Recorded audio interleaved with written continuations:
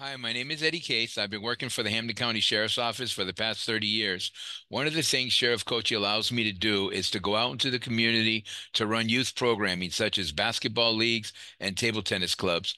What I like about the table tennis clubs is the benefits such as cognitive activity, learning to concentrate, developing focus, and the physical activity.